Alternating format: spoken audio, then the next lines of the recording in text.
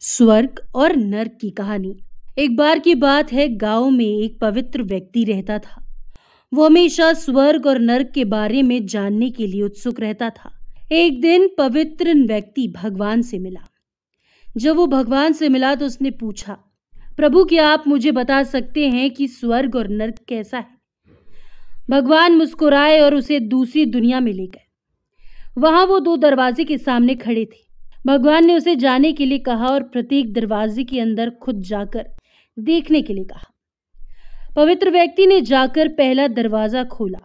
वह उसने एक बड़ी गोल मेज देखी, जिसके चारों ओर लोग बैठे थे।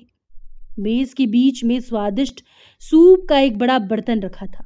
वहाँ बैठे सभी लोगों के हाथों में बहुत बड़े बड़े चम्मच थे। मेज के बीच में स्वादिष्ट सूप के बर्तन तक पहुँचने के लिए चम्मच काफ़ी लंबे थे। लेकिन लंबे चम्मच के कारण भोजन से भरा चम्मच लोग मुँह में नहीं ले पा रहे थे।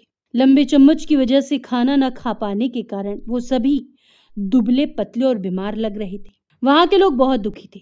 वहाँ पीड़ित लोगों के दुख को देखकर पवित्र व्यक्ति काँप उठे। वो उस कमरे से बाहर आया और दूसरे कमरे का दरवाज़ा खोला।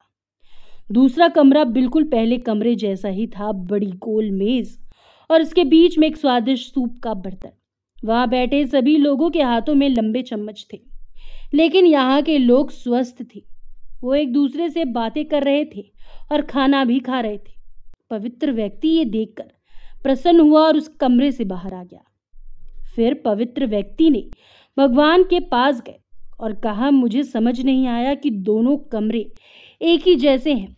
फिर भी एक कमरा दुख से भरा है और दूसरा सुख से।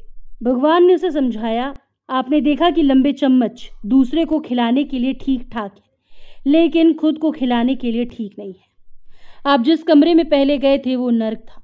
वहाँ के लोग लालची और केवल अपने बारे में सोचते हैं। दूसरे की मदद नहीं करना चाहते, जिसके कारण वो अपना पेट नहीं भर पा रहे और दुख झेल रहे हैं। और दूसरा कमरा स्वर्ग था।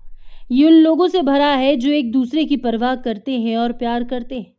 एक दूसरे को उन लंबे चम्मच से खिलाते हैं जिससे वो स्वस्थ और सुखी रहते हैं। यदि हम एक दूसरे का समर्थन और देखभाल करें तो हम अपने जीवन को स्वर्ग बना सकते हैं और खुशी से जी सकते हैं।